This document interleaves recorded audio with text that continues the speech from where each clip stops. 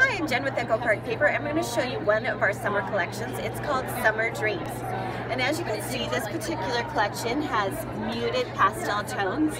Has a little bit of a retro vibe, but it's also very, very modern. Has Instax cameras and bikinis and different things that you might find on a boardwalk or being at the beach. So this is a great bright colored collection. In the collection kit, you get the 12 double-sided papers, so 24 patterns. And there's a coordinating solids paper pack that goes with it. These are inspired by colors in the collection. And then the sticker has the same icons and images you might find on the paper.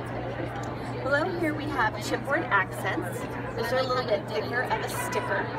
And then we have layered stickers, so you could use one or both. We also have our popular new mini paper fans. We have two embossing folders that go with this collection. One is a phrase and one is a dot. We have our decorative brads, enamel shapes, enamel dots, and two stencils, one of which is a flamingo.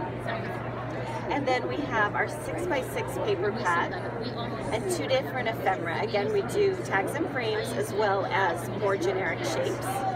And then we have our dies and stamps here. This particular die creates a 3D pinwheel. And this one down here are those popular signs and you cut out the alpha and you can create your own sign here. And then we have a coordinating die and stamp that goes with this collection.